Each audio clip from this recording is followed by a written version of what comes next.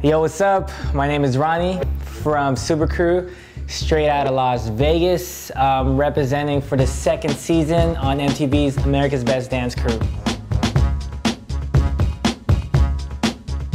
B-boys from Las Vegas are, to me, mad underrated. Like a lot of people don't know that there's a lot of hidden talent in the city, and it's a privilege for us to be on the show because we're actually representing our city and representing something that people never really knew about. Basically, last season, Jabbawockeez brought something new to the table. They brought their style of dancing, urban freestyle.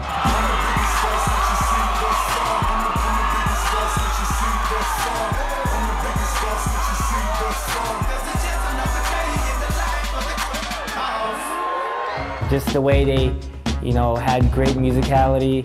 Like I said, they gave a little piece of what B-Boy's about and what we're doing, it isn't new to our culture, but to America, it's something that they've never really seen before. So I think we're bringing something new to the table. So I'm hoping it's an advantage for us to be the only B-Boy crew in the whole show. Super Crew, we started in the year 2000, so we've been together for about eight years. Basically, Super Crew, crew with the three. The three represents the three crews that are in it. We've got my crew, Full Force, we got uh, Knucklehead Zoo, and we got the Battle Monkeys from Riverside, California. We just pretty much started as a as one of those crews that never really got recognition. We were the, the underdogs of our generation of b-boying, so we just kind of came up with the name to just kind of show that, yo, we're young in the game, but we can make it happen, we can get big, and eight years later, we're here still, you know what I'm saying? All right, the biggest threat, um, I could see Supreme Soul, you know, they're holding it down. They're representing a part of what we do. Um, of course, it's all urban freestyle, but then they have some b-boys in the crew. All in all, I think everyone's a, is a threat. You know, you can't really underestimate anyone. The first episode, of the casting special, the live audition, it was a different experience, of course, because we are used to battling, you know, other dance crews, other b-boy crews, and we're used to dancing in front of a lot of people, but it's just kind of different when you're competing against other dance styles.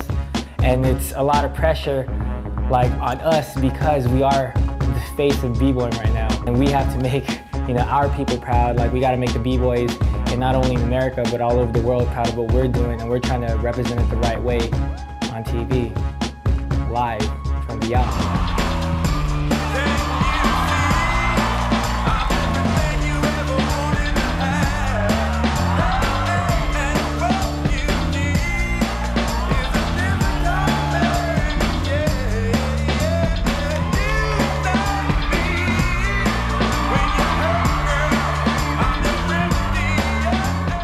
Don't forget to vote for us on dancecrew.mtv.com. Super Crew, Super Crew with a three. Also check us out on www.myspace.com slash Super Crew B-Boys. And for all the B-Boys in the world, we're doing this for y'all. Peace.